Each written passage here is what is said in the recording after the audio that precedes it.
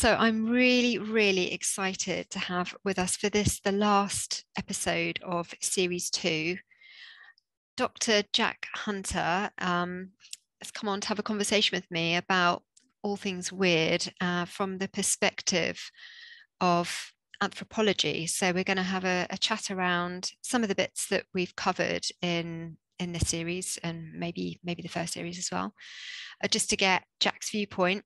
So Jack is an anthropologist researching consciousness, religion, ecology, and the paranormal. Um, so he teaches at the Sophia Centre for the Study of Cosmology in Culture. Uh, that's part of the University of Wales, Trinity St David. And you're a bass guitarist as well, aren't you? I am, yeah. With a very cool looking. I did. I did uh, check it out. Uh, is it kind of psych, experimental psych jazz, psych rock? Psych yeah, jazz rock. That's about it. Space rock, psychedelic prog. Yeah, it's excellent. I enjoyed that. Great, thank you. And I think my uh, husband was particularly impressed that you are an ordained Dudeist priest. I am indeed. I can do weddings in some states in America. Oh, is it just in America then? In some states. I don't know. Not all states. I don't know about the UK. Oh, surely the UK. You'll have to sort that out. Yeah. well, thank you so much for, you know, making the time to come and speak to me because um I think I got in touch with you around the beginning of series one just to say you might be interested in this and and I was flabbergasted that you'd, you'd already listened to one or two of them so that was that was really great. So I just wondered if you could kind of talk us through um, really the kind of the theories that might apply to some of the um, to some of the experiences that we've heard about in um, in the modern fairy sightings podcast. Yeah. Well yeah i mean very broadly, my research has been interested in different ways that we sort of, um, or that people experience, we might call it the spiritual or the supernatural or all those kind of things.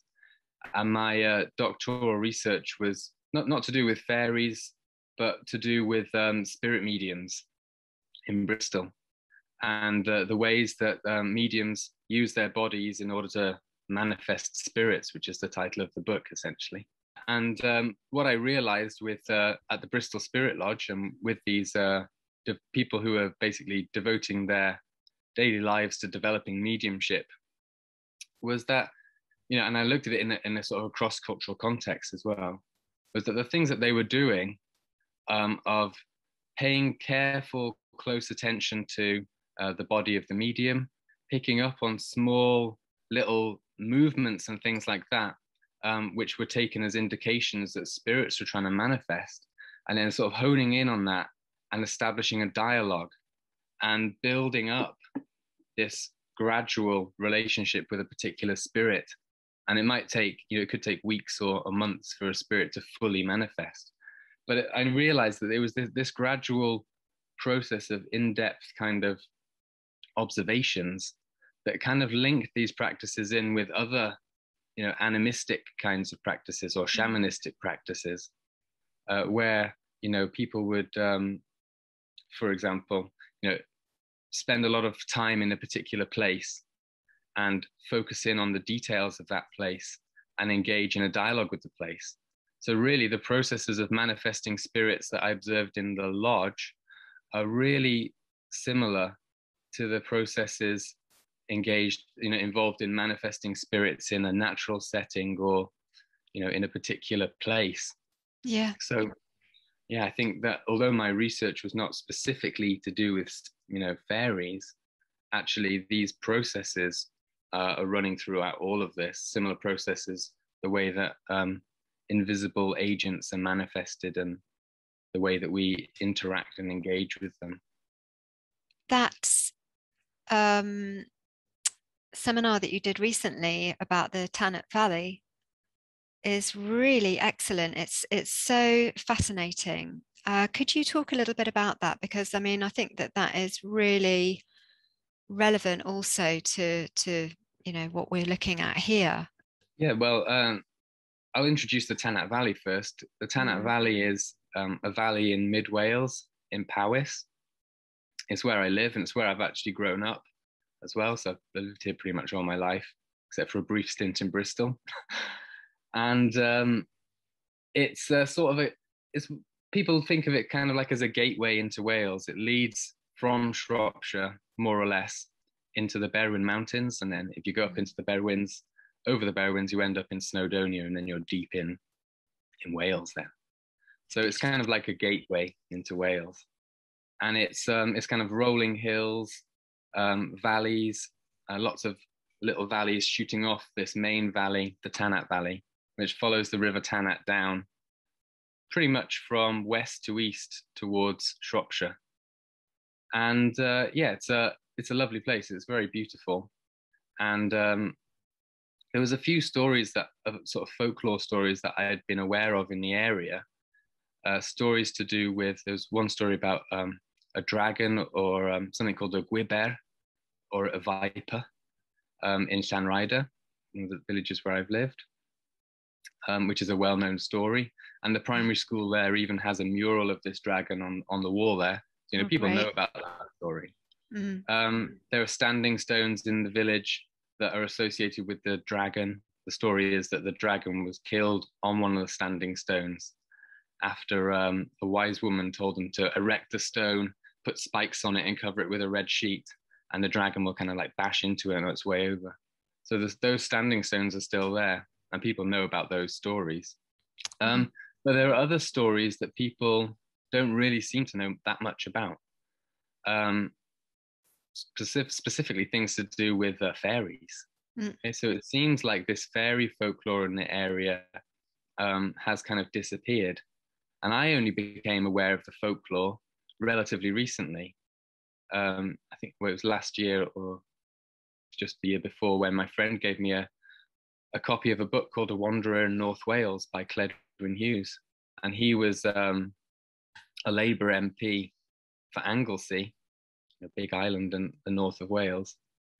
And um, he wrote in the 19, I think 1940s, it was published in the early 50s, um, about his, his wanders through North Wales, basically.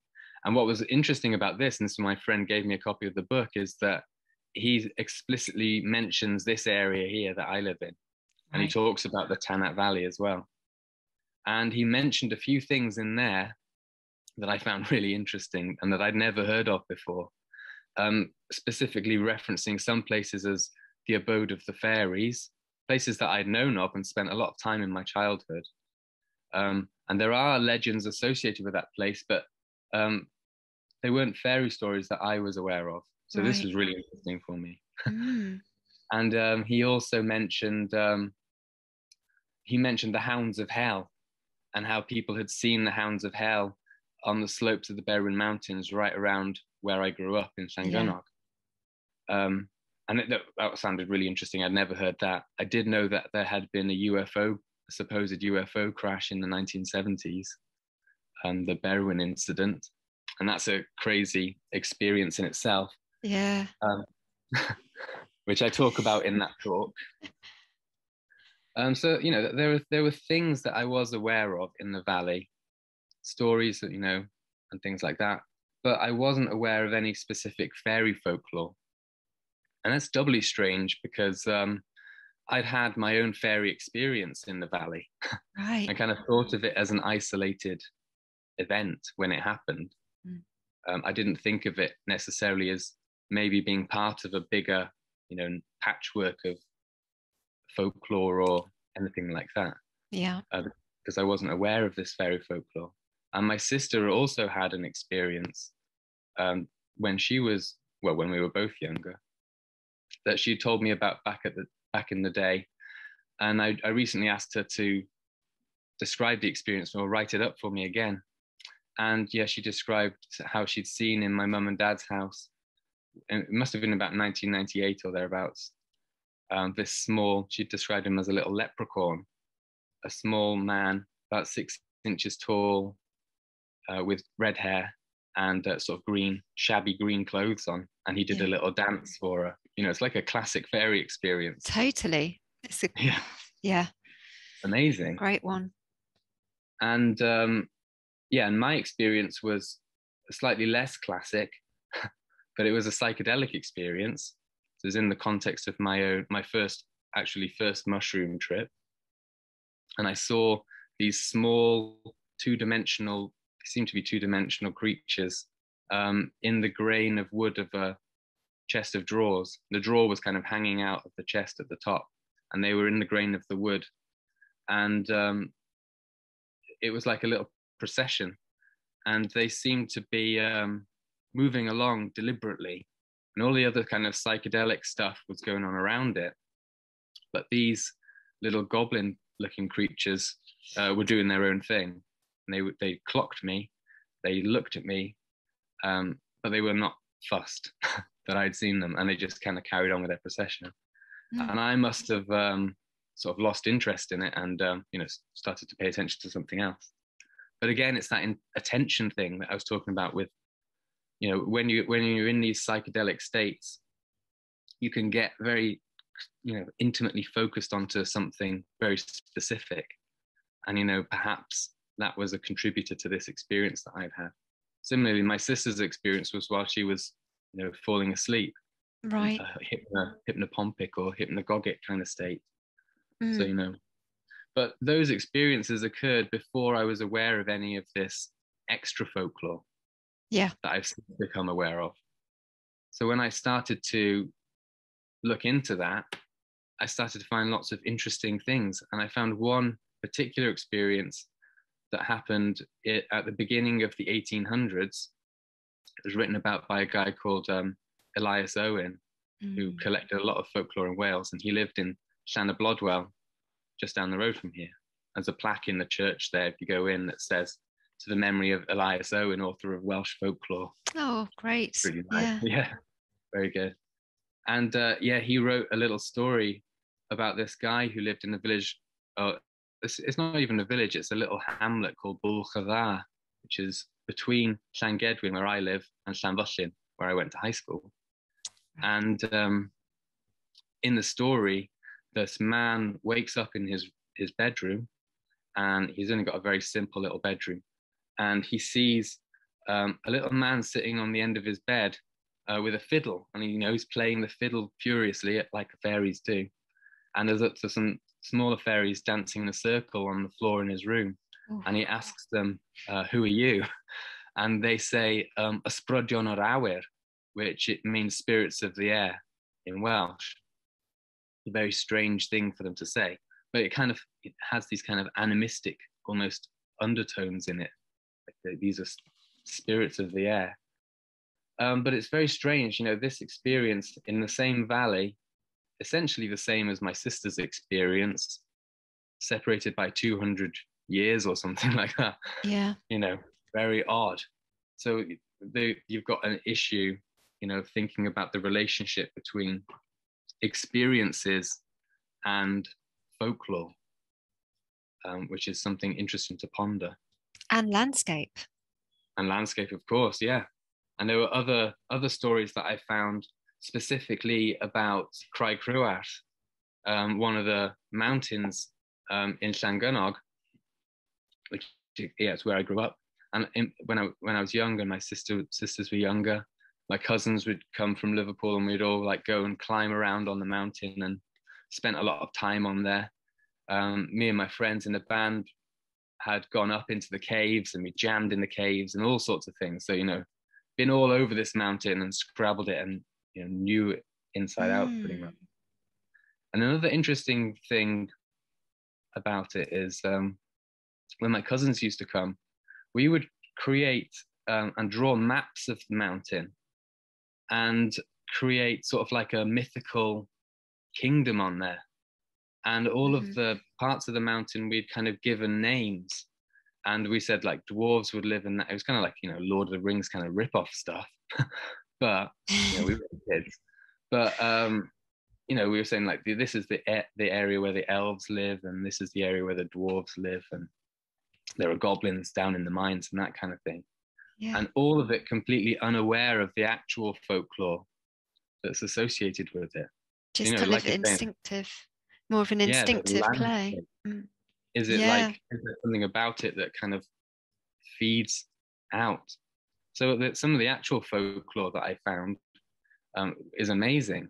There's um, a local archaeologist called Robert Richards in the 1930s, and um, he published his writings in the Montgomeryshire collections, which is published by the Powysland Club, who are like the uh, learned society of Powys, uh, based in Welshpool. And he wrote some, he wrote up some of the folklore of the Tanat Valley, having grown here, grown up here, and he explicitly mentions Craig Rhiwarth, and he, he talks about how um, it was well known as a haunt of the fairies, and the hut circles that are on top of it, because on the top of the hill, um, it's been used for a very long time. Um, on the very top, there's an Iron Age hill fort, and you can go up there and you can see all of the hut circles. And in the 19th century, Llangynog was actually one of the most heavily industrialized parts of the country, mining um, slate and Right. um, lead. So it was a massive industrial place at one time as well. It's not anymore.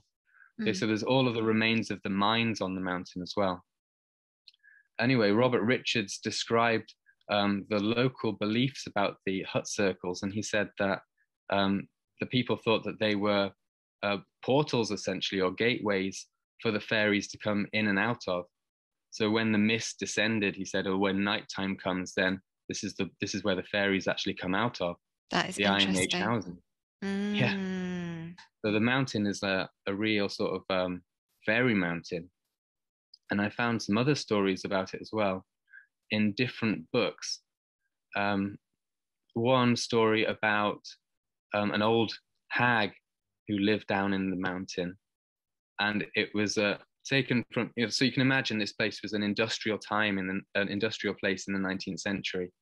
And they would have been looking, you know, going into the caves and things, looking for places to mine, really Yeah. um, like prospecting, I guess. Yeah. And the story was that these men um, went onto Craig Rhiwarth. They had, you know, a handful of candles, as many candles as they could find, and they, you know, used them to go as deep into the mountain as they could.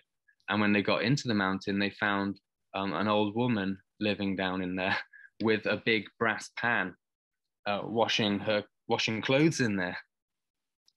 And um, this is super weird. I mean, amazing stuff. Yeah, it is. That- But that you know, you wouldn't know about it. No one had ever told me a story, even remotely like that, about the mountain. In all the years that I've lived here, um, you have actually have to go into the archives and, and dig it out to find it.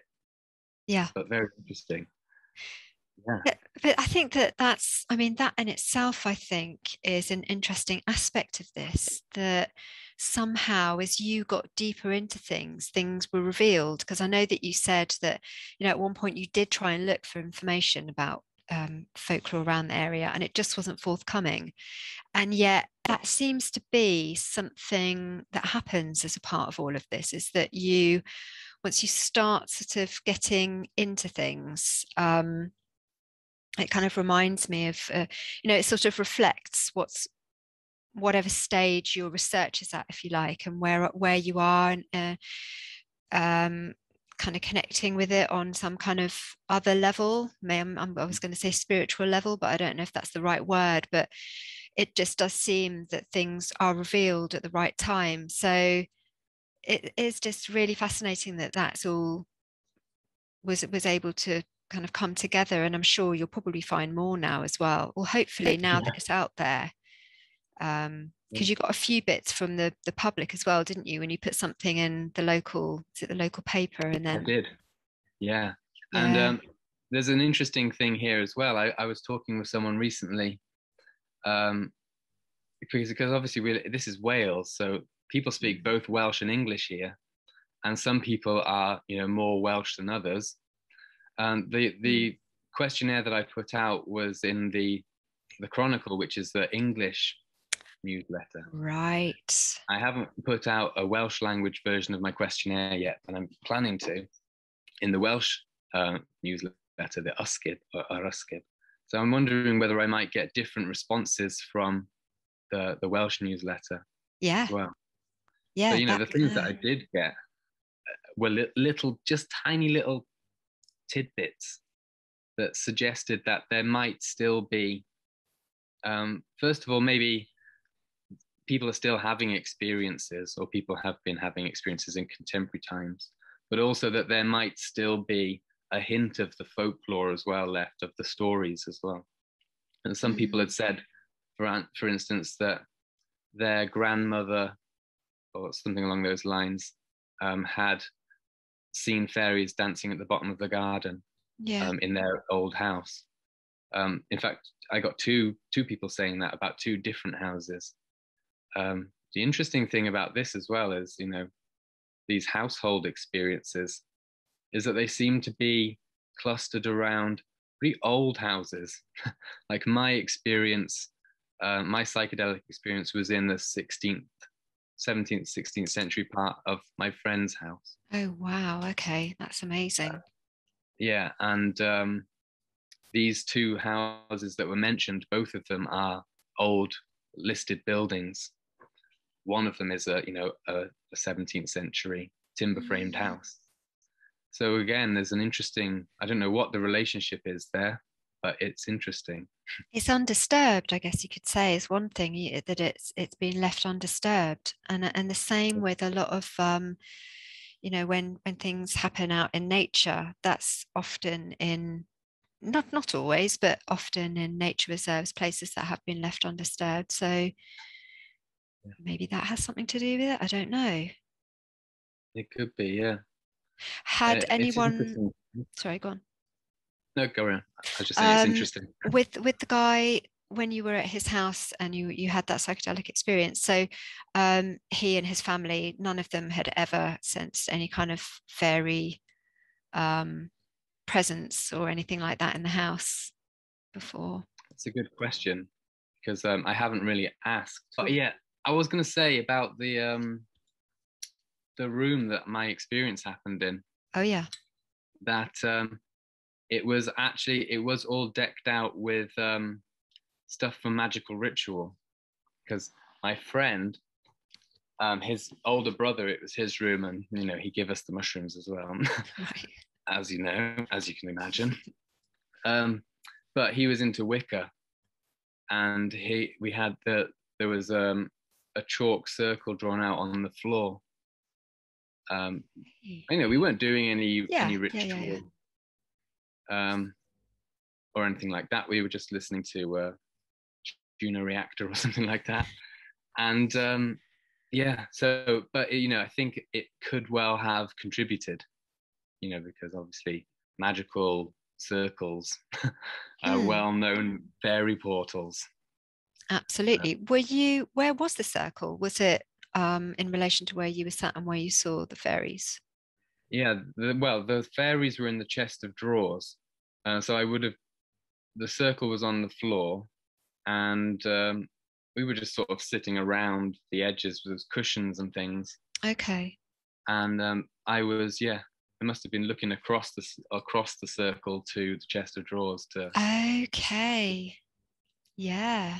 Which might be a factor. That that is very interesting. I mean, I think, you know, that together with thinking about when you used to clamber up the mountain with cousins and um, and even when you went in the cave with your with your band and, and friends and all of these things feel like at the very least communing with the landscape on some level um, and maybe even an offering of some sort so if you're playing music in there mm. um, that kind of maybe feels like a bit of an offering but but all of this, it really does make me think about, um, particularly the kind of outdoors ones, about communing with the landscape. And you know, I was I was thinking after um, watching the, the Tanat Valley um, lecture seminar, um, I was thinking about some of the episodes of the podcast, in particular, The Guardian of the Mountain, where he had actually um, he'd been up the mountain into a cave up there, the guy and, um, the guest, and um, there was a, a chapel on the mountain next to the cave, and he had been in the cave and he had performed some kind of ritual uh, before walking back down the mountain. With his friend. Um, and they'd been they'd done that loads of times. It was something you know they'd, they'd known that mountain again since they were kids and um, were just so familiar with it. Um, I think that that's another factor as well, the kind of familiarity. Yeah. Um, and then, you know, they had this incredible moment where this wolf appeared, uh, but it didn't behave like. Well, first they heard the growl, so there were mm. different aspects to it. They heard this piercing, you know, growl, and they were both completely terrified and stood to the spot um, as you would if it might have been a wild animal as well. But then at the same time, running within that fear, he had this sense of, but I know this is something otherworldly. And somehow that kind of, that sort of um, um, anchored him so that he didn't become um, you know too too terrified by that. It, it, was it was always he was kind of telling himself i know this isn't real kind of thing. I won't that it's real but i know this is from another world. Um, although he did at the same time have this fear that they were going to be killed um, which is terrifying. And then they they saw it run off up the mountain and it was um, it was shaking the bushes as it went. But before that happened, it was going around the mountain and it kept reappearing in the same place and then running up the side of the mountain again, then reappearing again. It's almost like kind of something playing on a loop. I think, yeah, I think these experiences are visceral um, interactions with place. Um, at least that's part of them. I'm not saying that you know you can explain the whole thing in terms of that, but it seems to be what uh, often triggers these experiences. And you know, like I was saying before about this process of like in mediumship, for example, where it's a long, sustained process of concentration, concentration and interaction mm. um, to build up a presence. But I think there are some places, like for example, you know, in in my presentation, the men going down into the cave, you know, going down into a cave is a visceral experience and it puts you into a particular you know sort of like responsive state i suppose ready to have some kind of an experience with something regardless of what it is. And i think a similar kind of scenario is at play with the with the account from the guardian of the mountain that we were talking about.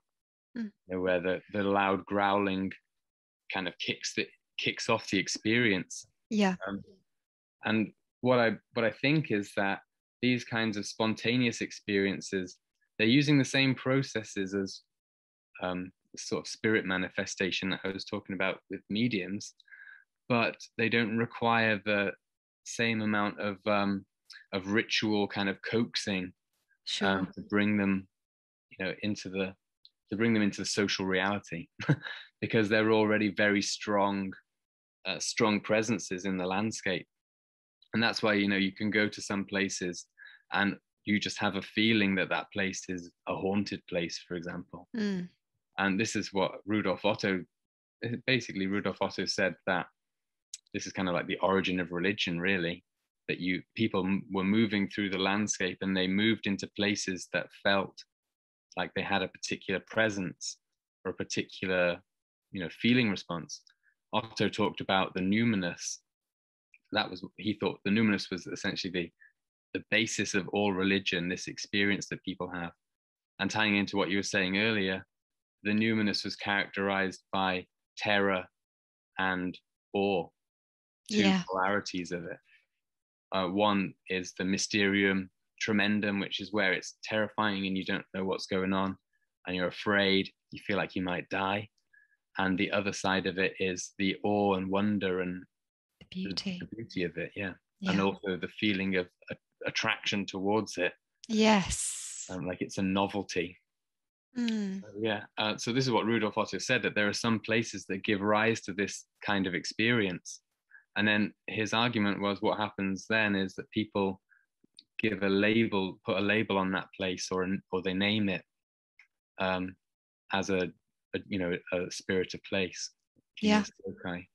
And then it builds and builds and builds. So then eventually you might have a shrine built there, for instance, um, and then the god take the, the spirit takes on you know a more divine form, and so on. And this was basically his argument.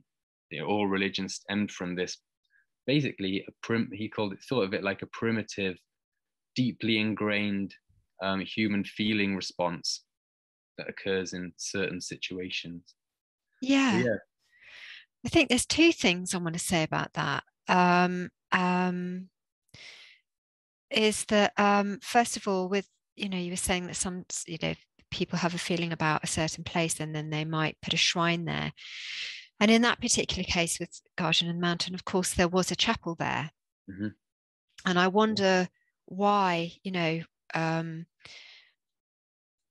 I think I did ask him at the time who the chapel was dedicated to, and it was um, it was some kind of aspect of the Virgin Mary. Mm-hmm. Um, but yeah, so at some point somebody felt the sacredness of that place and put a chapel there. But also over time, um, this this kind of wise man who um, worked kind of on behalf of, of the king of Spain at the time, he set up this place there where he could he could live there as a, a hermit and have a whole library of occult books there and he would um, i guess work his magic and live there and be there. So there's all mm. these different layers you know of people making sense of this place these places. But also it makes me think of um, and you you talked about this a lot in greening the paranormal um, you know a sense of personhood with a place. And i think that if it's a bit like with people uh, we we do kind of sense and feel uh, people's vibes, if you want to call it call it that. Um, and there are some people that we innately kind of want to be closer to, and and there are some people that um, we innately feel. Uh, you know, you may never have met them before, but you can just sense that um, you know that you need to keep your wits about you, kind of thing. Um, so that sense of personhood then being we, we, we can make sense of that in the landscape too that there are these places even in places of great beauty um, there's a sense of warning given you know um, that that you know lots of different generations of people pick up on. I think um, this issue of personhood um, you know because personhood is really um, it's a human category. You know it's a human thing.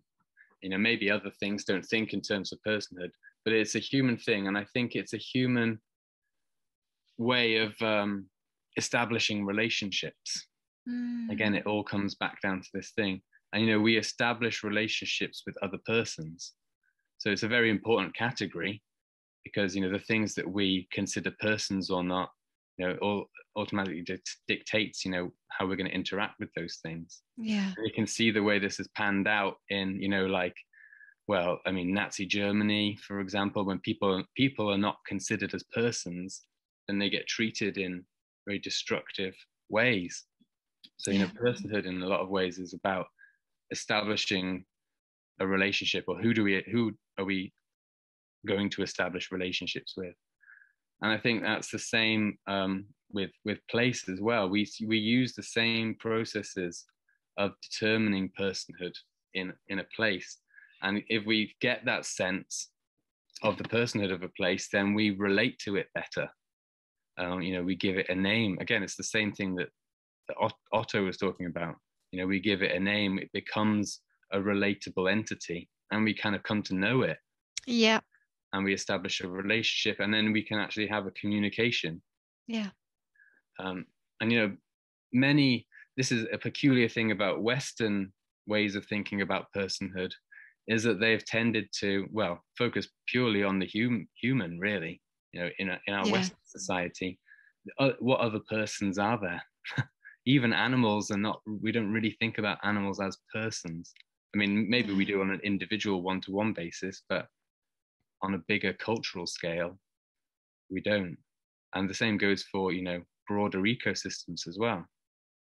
In the Western world, I mean, we used to have these frameworks, and I think all of this fairy folklore um, associated with particular landscapes and environments is a, a remnant of that older way of engaging with the you know the environment as a person yeah we had it and um, it's kind of being lost as well or forgotten about but you know that also raises because if it's been forgotten then it suggests that it's a purely cultural thing you know that can be forgotten but it's not an experience I don't know because I mean, I would say I definitely have experienced that. I think, yeah. personally speaking, I guess you have too, and I know other people would agree um, that they have. That there are some places where I've been to, and they are that there's something about them that it's like you're meeting them for the first time, and uh, there's an ambivalence there. There's there's you're not entirely sure if you're welcome or not yeah if it's got a strong personality. Mm-hmm. And then over time, that can really shift to the point where if I go to some of those places now where I initially was like, oh, okay, I'm, you know, this is interesting. This is an interesting sense here. I now feel like I'm being welcomed by an old friend if I go there, and it's it's a place, you know. Um, so you know that's something that i've experienced and i know lots of other people have so i would i would say that it is more yeah. experiential yeah i think the experience is still there but the question is you know like are people still telling stories about it mm. or do we have individual experiences like i've had my sister had and we just kind of keep it to ourselves and it doesn't yeah. then become folklore does it um, it stays sort of hidden and private Yes. I'm very interested as well to know not just whether there are, you know, stories still circulating in the area, but also whether people are still actually having experiences as well. Mm. I think they probably are, but we don't like to talk about those kind of experiences anymore. no, this is it. And I think, you know, um, listening to your your um, seminar about deep weird, mm-hmm. Now, what really fascinated me about that, and I was I'm really keen to ask you about this, is this this idea of the boggle threshold. Yeah. And you know, I feel like we're talking about people, whether or not they feel able to talk about their experiences. You know, I guess a big part of this project, well, the main the main part of the project for the Modern Fairy Sightings uh, project is that it's a place for people to share their experiences so that other people who've had those experiences can just go oh, okay yeah this you know it's not just me and it's somewhere that they can go and relate and validate their own experiences. But as a side effect of that if other people find the podcast um, and they listen to it i suppose re, you know thinking about the boggle threshold I'm hoping, I guess, that it might raise some boggle thresholds there. Yeah. And and in doing so, if that just sort of gets normalized that people have these experiences, then people will start talking about places maybe in that sort of way again because they can relate to it because probably most people have. You know, it's like even if you think about, say, in lockdown, you know, we really kind of looked well so deep within ourselves, and we, you know, we were all going through trauma in some way or another. And one thing that people would do would be to go off, you know, for a walk, which they might not have been able to do had they been at work, but if they're working from home. I know not everyone was in this situation, but for a lot of people, it was like this. And just to be able to go to a local park and find a place of peace and feel nurtured and welcomed you know that i feel that's what we're talking about really in terms of like personhood of place. So so yeah tell me about boggle threshold because that's it's really really interesting. Yeah well um the idea of a boggle threshold it was from um, the historian of psychical research renee haynes and uh, her idea basically was that everyone has their own threshold for the amount of weirdness that they can accommodate. And these thresholds, are, uh, they're present in culture, they're present in um, you know our social family groups and our friendship groups and peer groups and all that kind of stuff. Mm-hmm. They, they exist on an individual le- level, um, but they also exist on sort of disciplinary levels as well. So, you know, and she would talk about how you know in the humanities um, boggle thresholds are probably a little bit higher, higher or lower, depending on how you want to think about it. Okay. to, let, to let the weird in. Okay. Um, and in the hard sciences, um, yeah, the boggle thresholds are either very high or very low uh, to prevent the weirdness from getting in. Mm. So they have hmm. different values, really. So yeah, um, this is what a boggle threshold is, and some, you know, it comes through in all sorts of um, of interesting places in research on extraordinary experience. So, for example, there is this whole literature that's pretty well established about religious experiences, going back to people like William James, and you know, they have a good, strong lineage. And within that literature, there's certain kinds of experiences that um, it's kind of safe to talk about. Um, so things like, for example, you know, visions of uh, religious figures, for instance, mm. is a pretty a pretty standard one, or um, seeing um, lights or things like that, visions of lights or, or whatever. These are kind of safe, standard experiences that you can talk about, or hearing voices and things like that. You know, mm, very okay. weird experiences, undoubtedly, but they're also safe and they're kind of well documented and well established. But then there are other kinds of experiences that seem to exceed people's boggle thresholds. They can't let them in and usually that's when experiences start to um, break down or blur distinctions between nice neat academic categories so for example you know it, it's all well and good to talk about a nice clean um, religious experience for example someone has a vision of of jesus or the buddha or whatever mm. um, but then if you introduce into that experience a flying saucer yeah. or it happened on psychedelics, or there was some kind of weird telepathic communication between the experiencer and the entity, or you know anything like that.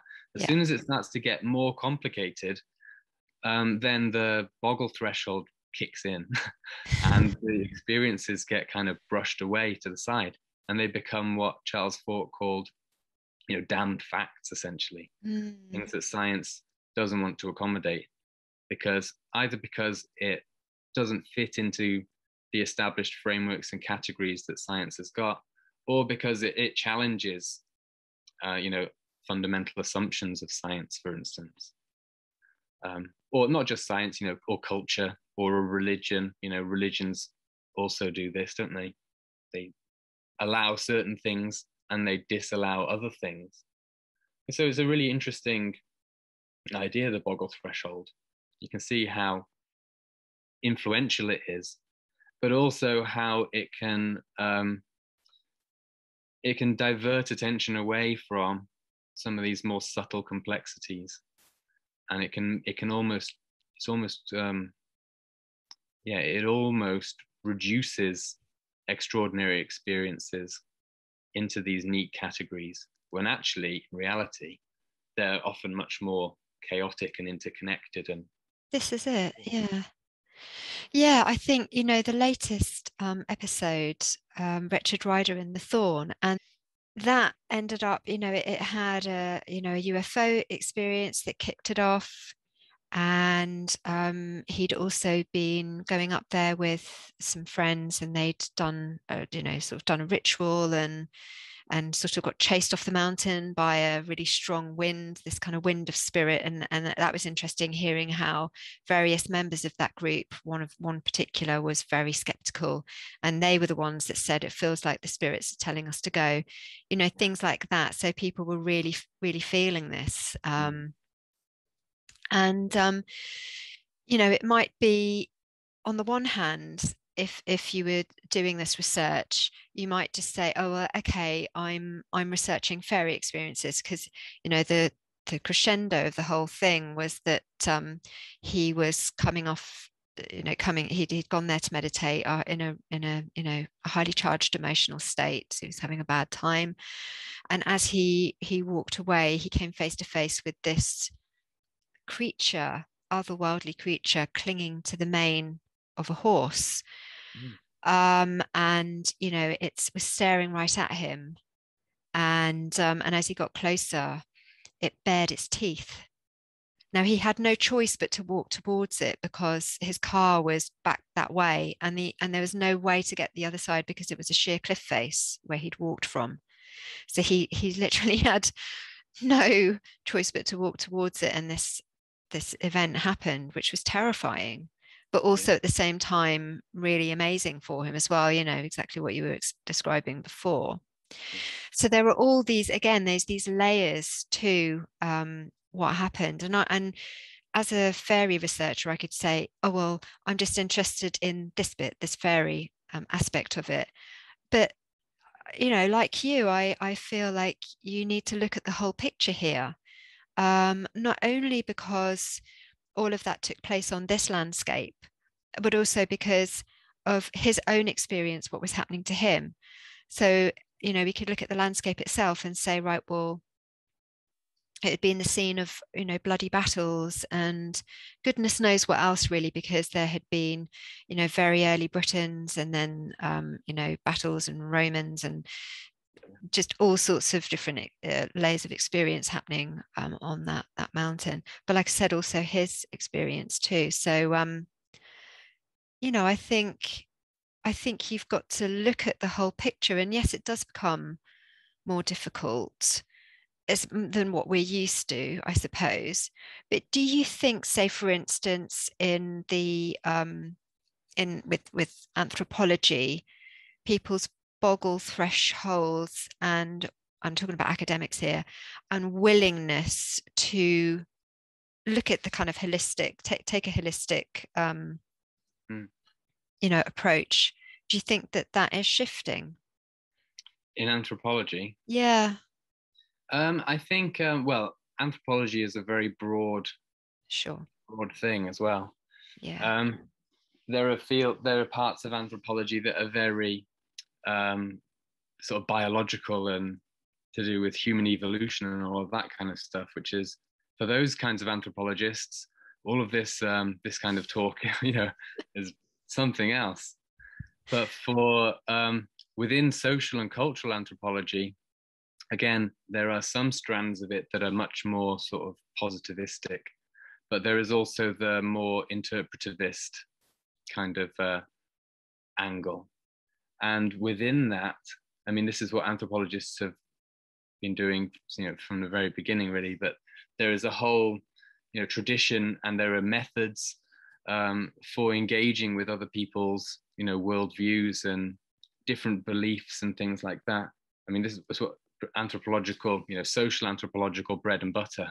Exactly. So I think um, you know anthropology is in a really good place, you know, for people who want to take a a scholarly yeah. academic approach to these kind of things, anthropology is in a great place. There's already, you know, that body of literature there that you can build on. Um, and in more recent years as well, there's been the growth of this uh, sort of paranthropological mm. thing, which I've been involved with, but of trying, but you know, it didn't come from me. It's got a long lineage that goes right you know right back to the beginning of anthropology really. But it's definitely since in the last 10 years um, there's there has been a bit of an opening up i think of mm. of these uh, anthropologists yeah. What do you think is causing that? What do you think is is behind this opening? Because i think that you're you're seeing it and feeling it in the academic world. Um, but I think we're also just generally feeling it. I mean, you know, people are talking about these things more. People are interested. I mean, look at cult, you know, the the culture in it itself, particularly youth culture. You know, I've got a 19 year old son, and he's tells me that um, you know a lot of his friends are really into all sorts of occult and supernatural stuff. Not that he is necessarily himself but it, it's a it's a cultural thing. And you know with television and stranger things and you know it, this is really massive. People are kind of reminds me a little bit of the 70s actually because the 70s yeah. was a bit like this as well. The occult revival. Exactly. So yeah what, what what's your thoughts on that? Well i mean um these things um, come they go through phases don't they they mm-hmm. flare up and then they die back down and they flare up again and lots of people have suggested all sorts of different reasons why that might be the case but you know one thing that is happening at the moment obviously is a lot of um, fear and uncertainty and all of that kind of thing mm. and it's the classic you know psychological functionalist explanation for the supernatural which i don't necessarily 100% buy but i think it's a part of it is that there is a lot more anxiety and a lot more thinking about things like death, for example, mm. um, which, you know, makes you think and question, doesn't it? And explore new po- other possibilities. So there is that. That's true. But I also think, um, you know, we could go, we could look at this from another perspective, like from a postmodernist kind of view, and talk about the fragmentation of society and how yeah. everyone's become more um, individually kind of oriented. And you know, when we talk, we move, we move into the domains then of individual spiritualities and things like that, where we we have a freedom, you know, especially in um, Western societies, to sort of pick and choose the beliefs and ideas that we adopt and that we kind of incorporate into our identity. So we're much freer than people were, you know, 50, yeah. 100 years ago to to do that. Um, Long may so that continue. That. Yeah. Um, but another thing that I quite like the idea of as well is um, one of Charles Fort's ideas about dominance. And this is kind of like his a precursor to the idea of paradigms from Thomas Kuhn in the 60s. But Charles Fort was writing about this in like 1900 and he said a dominant is a, like a, a long period of um, you know when a, a particular model of the world is in ascendance and all other other worldviews are kind of lesser and he said that we you know at the moment or when he was writing we were in a dominant of um, exclusion where we were, we were excluding stuff from our worldview you know so he was amassing all of this damned data that science wasn't interested in so his view of science was that it was excluding all of this stuff. But he had a vision of a future society that was more inclusive, you know, a, a dominant of inclusion is what he talked about. Mm. And I think in a lot of ways we're moving in that kind of direction. He preempted it, you know, 120 years ago.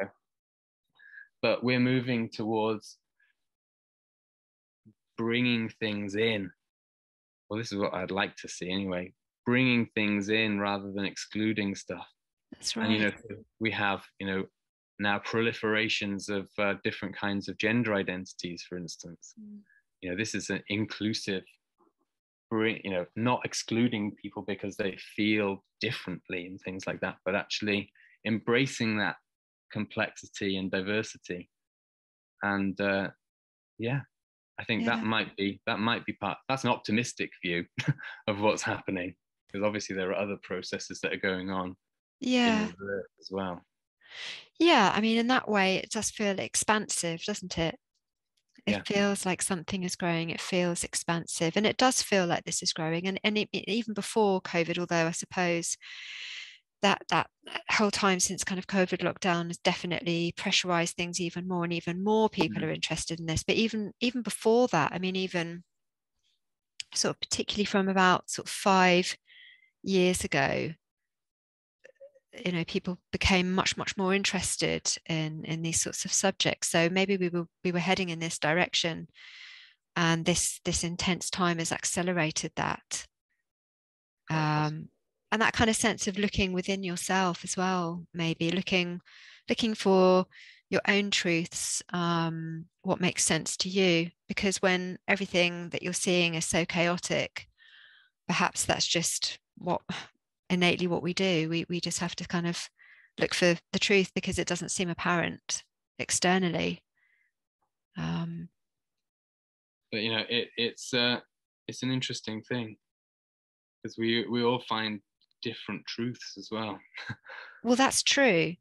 And then you know, I was thinking about um, we used to pronounce it Weber, Weber. Yeah. Um, didn't know if it was Weber or Weber, we used to Weber yeah. Um, that um, Weber argued about science and technology taking over over from um, magic and religion. But that kind of looks like it's switching around again, which is quite interesting. I mean, okay, we've got there's massive you've got you know we can't really do that technology but also there's a big backlash about um, t- towards technology at the moment as well there is, yeah. so so this is interesting so you know is it swinging are we seeing a swing back round again right now another but... interesting thing um, is that the way that technologies kind of feed into and become a part of all of this stuff like new emergent technologies like for example um, you know, like text messages from the dead and things like that. Right. You know, old phenomena um, merge into new technological spaces mm. and it, it gives opportunities for new kinds of interactions. You know, I wonder about, um, you know, fairies and technology and, you know, new new forms of uh, of uh, fairy experience that are mediated by technologies I mean, I can imagine. I it probably has already happened somewhere, but you know, it's like, it's yeah. interesting, isn't it? It opens up new new possibilities for for these old experiences to to adapt and move forward. It's true. Yeah, I would like to hear about anything like that. If um, yeah. if any, I mean, you know, people talk about there being gremlins in the in the system and things like that. I suppose you know we were used to that, weren't we? But um, yeah, yeah, that is interesting. Um, well, I guess we've had a bit of that tonight with my Wi-Fi going haywire as well. So the four theories that um, you had spoken about were mm. um, so there's David Hufford's experiential, which we've also talked a little bit about as well, and then John Keel's window areas, so these places where the supernatural might exist. And um, the sacred geography, the Mircea Eliade idea, and then Durkheim's idea that that all these things are just social constructs produced by society for the benefit of society, a little bit like, say, religion might be to, you know, to allow things to function in a certain way.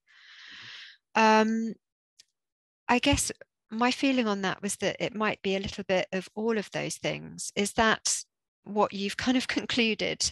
Yeah, yeah, exactly.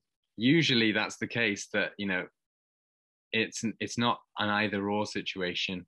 It's a both and plus other things as well. This is what I mean by when I talk about ontological flooding. You know that in order to understand any situation, we need to be open to multiple simultaneous processes um, all functioning at the same time. And these these things they might not even be you know they could be all sorts of different things you know not just physiological and psychological processes and all that kind of stuff but you know bringing in the idea of there being subtle minds and or plants and things like that having consciousness you know the, all of these things are going to be interacting in any given situation so we need a framework that allows us to bring in all of these different strands so when we t- talk about um, Mircea Eliade and Rudolf Otto, for example, saying that you know we can have these experiences in the world, that there is a, a thing out there, you know, that's all well and good, but it's also just one part of the stuff. You know, Durkheim saying that it's all created socially constructed, essentially, and he's not wrong.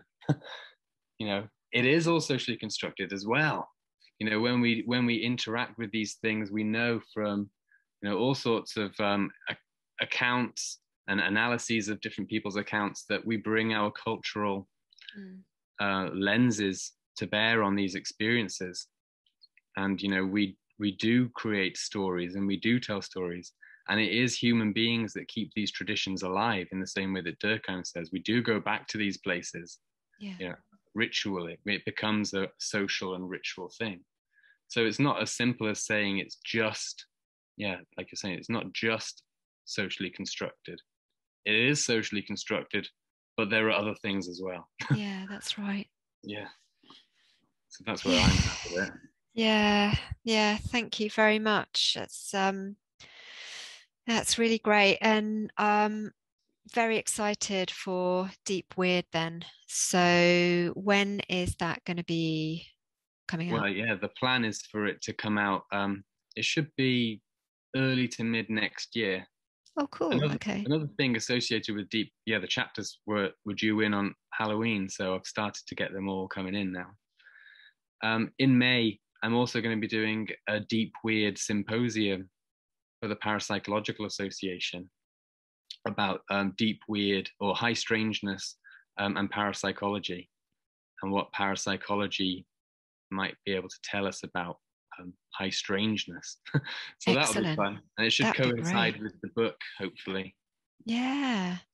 Yeah, well, definitely um, let us know about that then nearer the time. And yeah, yeah, that sounds brilliant. Okay, well, thank you very much again for for uh, giving your time and uh, having a good old chinwag about these matters.